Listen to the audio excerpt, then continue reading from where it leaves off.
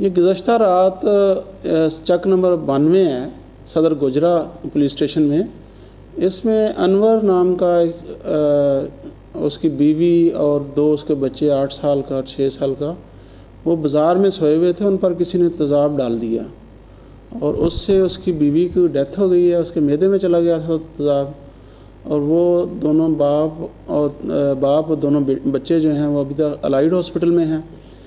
انہوں نے الج کیا، الزام لگایا ہے ایک لڑکے فیصل کے اوپر، جو اس کو، اس کا نام صفدر ہے، صفدر عرف فیصل، کہ یہ کوئی ایک مہینہ پہلے یہ انور کی بیٹی کے ساتھ اس کے کوئی تعلقات تھے یا اس کے گھر گھسا تھا۔ تو گاؤں والوں نے آپس میں ایک فیصلہ کیا تھا پنچایتی، جس میں انہوں نے اس کو پچیس ہزار روپیہ جرمانہ کیا تھا اور اسے چھ مہینے تک کہہ دیا تھا کہ تم نے گاؤں میں نہیں آنا۔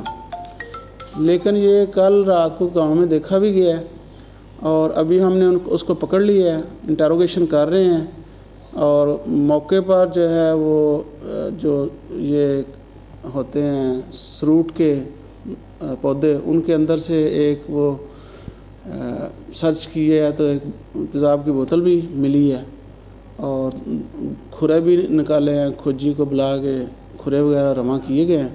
ابھی تفتیش کر رہی ہے پولیس۔ فائنل کچھ نہیں کہا جا سکتا۔ یہ جو بچے ہیں چھیڑ چھاڑ تو اس نے ایک مہینہ پہلے کی تھی۔ وہ یہ اس کے ساتھ، یہ کنیکٹ کرتے ہیں کہ یہ اس وجہ سے اس نے ایسا کیا۔ ہے اور اس نے ایک اور ان کے گاؤں کا علی نامی لڑکا ہے، اس کو بھی کہا کہ یہ بچی کی ماں کو نہیں میں نے چھوڑنا۔ مطلب اس طرح کی کوئی بات ہے؟ ابھی انٹروگیشن ہو رہی ہے۔ فائنل تو کنکلوژن پر نہیں، ابھی ہم پہنچے۔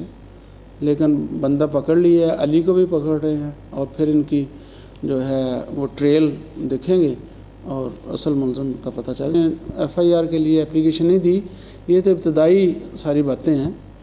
تو اس کو بھی پکڑا ہوا ہے جو جس پر انہوں نے الزام لگایا ابھی اس کی انٹروگیشن ہوگی پھر کھورا نکالا ہوا ہے۔ اس کو اس کے ساتھ کمپیریزن کریں گے۔ مولڈ اٹھا رہی ہے اور ساری تفتیش کر رہی ہے وہ اندر سوئی ہوئی تھی۔ جس کے ساتھ اس کے تعلقات تھے، وہ مطلب تعلقات تھے یا کرنا چاہتا تھا۔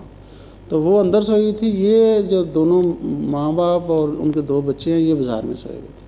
ساری اسی طرف جا رہی ہیں۔ وہ جو ملزم جس کو ہم نے پکڑا ہوا ہے، یہ مطلب جو لڑکا جس کے ساتھ اس کا رابطہ تھا، جس کو اس نے، جس کے ذریعے پیغام بھجوایا کہ میں ان کو چھوڑوں گا نہیں، اس طرح کی باتیں تو اس نے کی ہیں۔ لیکن ابھی دیکھتے ہیں کس طرف جاتی ہے تفتیش کا رخ؟